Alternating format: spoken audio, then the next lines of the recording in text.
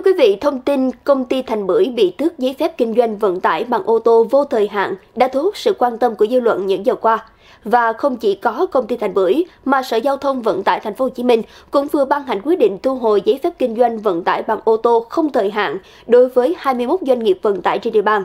Quyết định có hiệu lực kể từ ngày 13 tháng 11. Việc thu hồi giấy phép kinh doanh vận tải bằng ô tô không thời hạn đối với các doanh nghiệp này căn cứ theo điểm B khoảng 6, điều 19, Nghị định 10 năm 2020 2020 quy định về kinh doanh và điều kiện kinh doanh vận tải bằng ô tô.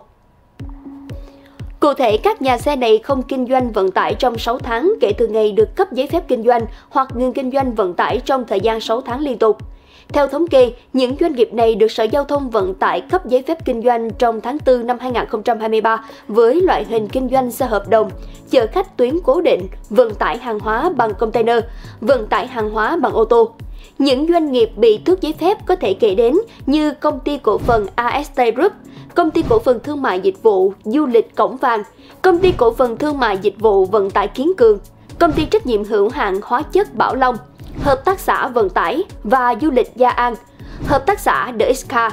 Trước đó, Sở Giao thông Vận tải Thành phố Hồ Chí Minh cũng ban hành quyết định thu hồi giấy phép kinh doanh vận tải bằng ô tô không thời hạn đối với công ty trách nhiệm hữu hạn Thành Bưởi, cùng có hiệu lực từ ngày 13 tháng 11 công ty Thành Bưởi bị thu hồi giấy phép kinh doanh vận tải bằng ô tô không thời hạn theo Điều 19, Nghị định 10 năm 2020 đối với hành vi cung cấp bản sao không đúng với bản chính hoặc thông tin sai lệch trong hồ sơ đề nghị cấp giấy phép kinh doanh. Những diễn biến mới sẽ được báo Thanh niên liên tục cập nhật tại thanh niên.vn và kênh youtube báo Thanh niên. Kính mời quý vị đang theo dõi. Quý vị cũng đừng quên bấm like, đăng ký kênh và nhấn vào nút chuông kênh youtube báo Thanh niên để không bỏ lỡ những tin tức mới nhất.